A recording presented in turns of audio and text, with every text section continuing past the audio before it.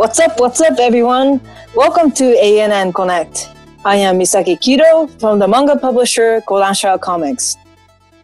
So today we're teaming up with Anime News Network and Anime NYC to bring the manga and anime fans together, as well as the creator and the whole industry together in a whole new way. So as you may have heard, we have a special guest today. He is a superstar mangaka from Kodansha Comics and one and only creator of Fairy Tale, Eden Zero, Raid Master, and a whole lot more, Hiro Mashima. So I'm pretty excited about this because I have heard that there's a special announcement at the end, as well as an audience Q&A where Mashima Sensei might be answering to your questions that you have submitted via Twitter and ANN forum. So I hope you get to stick around until the end. Before we get started, Please welcome our interviewer for, from Anime News Network, Kim Morrissey. Hello, my name is Kim Morrissey and I will be your interviewer today. Please welcome our special guest, Hiro Mashima. Hello everyone, I'm Hiro Mashima. Let's first start by talking about Fairy Tail. Even though the manga has finished serialization, your work on the series hasn't ended. For Fairy Tail 100 Years Quest, you drew the name, while Atsuo Ueda drew the artwork. How did it feel seeing your characters come to life based on your rough drawings? Was it a different feeling from the other spin-offs? はい、えー、そうですね、えー、最初は、えー、非常に不安だったんですけども作画の上田さんが、えー、すごい僕の絵柄に似せてくれるのもありまして非常に、えー、満足く仕上がりになっています。それでいて、あの、僕の絵にすごい似てるもんなので、見ていてすごい不思議な感じになりますね。The series also recently got an action game. What were your impressions of it when you first played it? はい、すごい楽しんで、えー遊んでます。あ最初からあのフェリーテールがゲーム化にすると思わなかったでしょうか？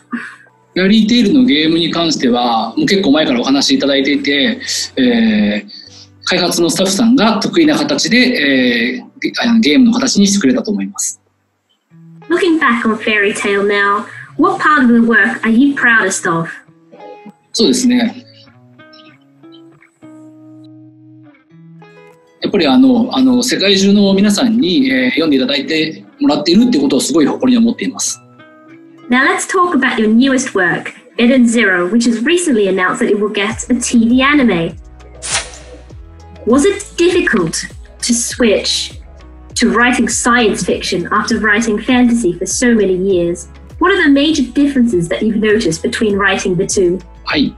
えー今回の作品は SF なんですけども、僕の中では、えーサイエンスフィクションではなくてですね、えースペースファンタジーというジャンルを持って作っています。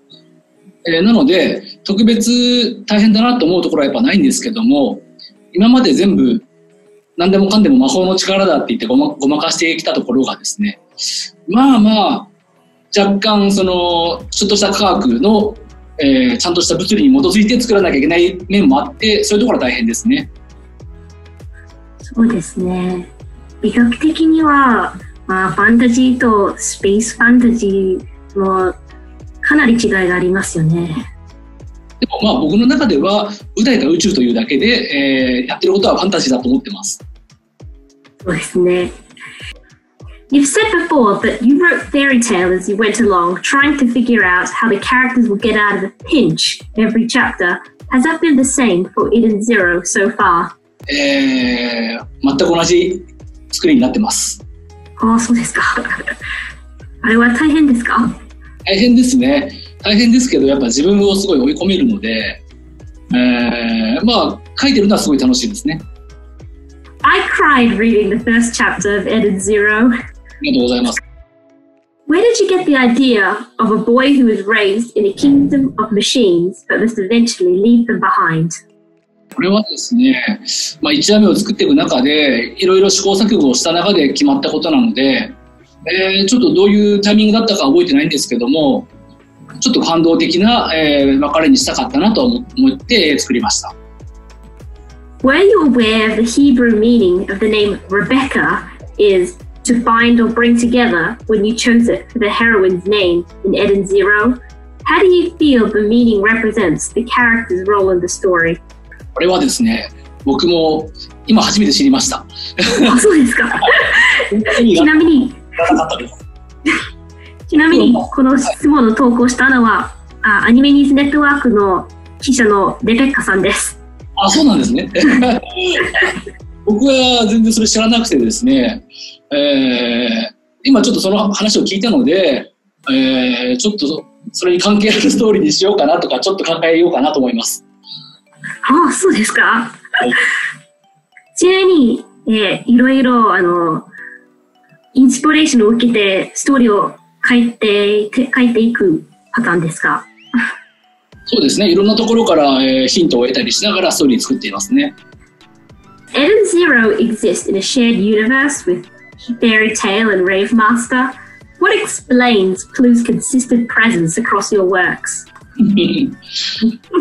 えーブルーはですね僕がデビューした時からずっと使ってるキャラクターで非常に僕自身愛着があるのでこの先どんな作品を作っても、えー登場させると思いますそして、えーエデンズゼロではまだブルーは本当にちょっとしか出てきてないんですけどまあちょっと機会があればまた出す機会があれば出したいなと思ってますね By now, a number of your works have been adapted into anime. What are you most excited for when it comes to the Eden Zero anime?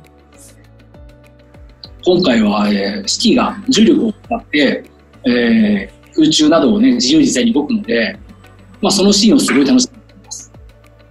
Now then, let's talk about some general things about being a manga artist.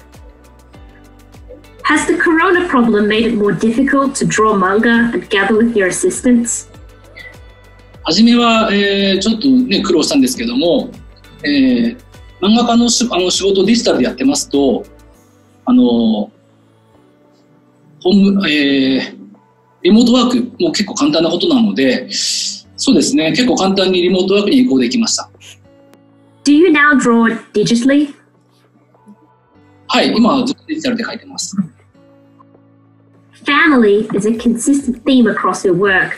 Could you tell us a little bit about why you use that as a theme and what you hope it conveys to the readers? はい、家族というものはとても大切だということを伝えたいと思います。Fans often praise your female characters because they don't get sidelined during major action scenes, as happens in a lot of other shonen manga. Is that something you deliberately set out to do? はい、えー、やっぱ強い女性キャラクターは僕大好きなので、えー、やっぱ書いてて楽しいですね。今回のエレンゼロの強い女性キャラクターといといえば、はい、そうですね、ホムラですね。ね Of the short stories collected in Mashima Inn, are there any you'd like to go back to and turn into longer works? Do you have a short story you think of as your favorite of the ones you've written? えー、ミクスチャーという作品がありまして、えー、戦隊もののような作品なんですけどもこれは、えー、っと書いた時はですね、えー、すごい連載用のアイデアはたくさんあったので時間があったらやりたいなとは当時思ってましたね。How did you get the idea to draw the Mashima Heroes crossover work, and which situations in particular were you most eager to draw? これは、えー、少少年マガジンがですね、60周年という記念の年だったので、その記念に何かちょっと特別なことをやろうやろうということになりまして、えー、そこから出てきたアイデアです。まあ、そして僕はあの、ね、アベンジャーズとかも大好きなので、そういうところからもヒントを得て、自分の作品でそれができたら面白いかなと思ってやりました。We've also received questions from the fans. How long will the 100 years quest manga last? えー、まだ決まってないですね。でも、えー、一応ストーリーのね本筋はもう決まってるので、その後続けるかどうかはちょっとわからないんですけども、えー、そのあたりまでは決まってます。エンディングはもう決まりましたか？エンディングというのはまだ決まってないですね。はあ、楽しみですね。Since Sensei drew Gray and Juvia's son and some other fairy tale couples, is there a chance that you're planning to draw a series about the children of the next generation? はい。えー、もう少しあのちゃんと100年クエストが完結した後にまた考えたいなと思います。あのそういうの見たいなって人がたくさんいればまた書きたいなと思います思いますしそういうのは想像の中で楽しむのがいいんだよって人が多かったら書かないかもわかんないです。Who was the strongest character in Fairy Tale? うん、そうですね。設定ではロギアです。Is the Eden Zero crew going to have more male characters? はい。これから男性キャラクターはどんどん増えていきます。個人的にジャステジャスティスのの出番が増えるといいなと思ってます。確認彼も出番が増えていきます。お楽しみです。Who's your favorite character from Rave Master, Fairy Tale, and Eden Zero? うん、レイブンの時は僕はずっとプルーが大好きでした。で、なるほど。フェアリーテールの時も、まあいろいろ好きなキャラクター変わっていったんですけど、最終的にはルーシーが好きでしたね。で、えー、今回のエデンズゼロでは、今のところピーノがすごいお気に入りです。なるほど。ピーノは本当に可愛く書いてありますね。はい。これからね、いろいろ活躍の場面も出てくると思います。What is Ertza's favorite flower?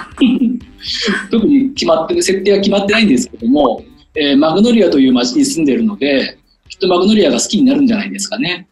What does Oracion Seis mean to you? The name appeared in Fairy Tale, they're more apparent in Eden Zero, and I think they showed up in Rave Master as well.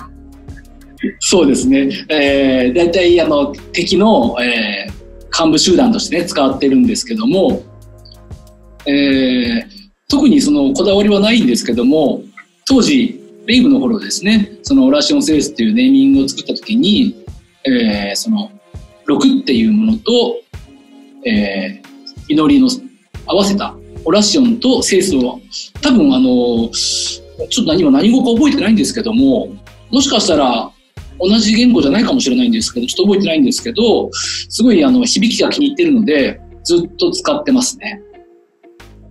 Why is happy blue? I find it hard to accept the answer because I'm a cat. Was this to compliment Natsu's hair color? ハッピーが青いのはですね、もともとハッピーの設定が、あの、幸せの青い鳥で童話があると思うんですけども、ここから来て、はい。I was wondering how you got your inspiration behind Lucy's celestial magic. これはもう、あからさまに、えー、テレビゲームの召喚魔法です。 Who is your favorite of the celestial spirits? えー、僕がお牛座なのでタウロスですかね。I love your work, especially the characters. So the question I want to ask is how do you make every character so unique? 難しいですね。もういろんな要素があるんですけども、えー、見た目であったり、喋り方であったり、えー、仕草であったり、いろんな要素がこう混ざり合って、えー、魅力的になっていくと思うんですけども、一番大事にしてるのはやっぱ対人、人間関係ですよね。そのキャラクターが誰とどのような関係になるかっていうことによって、えー、すごい魅力が、ま、さらに増していくと思います。Finally, do you have any new project or announcement to make? はい、えー、実はですね、えー、10月17日、えー、オンライン再会をやることになりました。これはですね、いろんな国の人から、えー、いろんな国から参加できるような形になってますので、えー、ぜひ参加していただきたいと思います。Thank you for taking the time to speak with us today. We're all looking forward to seeing the Eden Zero anime. To wrap up this interview, please give us a message to your international fans. Hi, everyone. Uh, I hope to see you again soon. All right. Thank you, Mashima Sensei, as well as Kim, for a very awesome interview. So, as it was mentioned in the announcement, on October 17th, Mashima Sensei, as well as Weekly Shonen Magazine team in Japan, will be hosting an exclusive global virtual autograph session. During this session, 80 lucky fans from North America, China, France, Italy, and Japan will be able to request unique illustration from Mashima Sensei himself. For more information, please head over to kodanshacomics.com slash mashima. But you might want to hurry because the entry to join the virtual autograph session will be closed on September 30th. Thank you to all of you for joining the Hero Mashima session today. If you're interested in more manga creator related videos, please visit Kodansha Comics YouTube channel. It was a lot of fun to see fans of Mashima sensei coming together and talk to each other on a chat today. And I hope we get to do these sessions with ANN Connect again to connect with fans like you. But until then, see you later!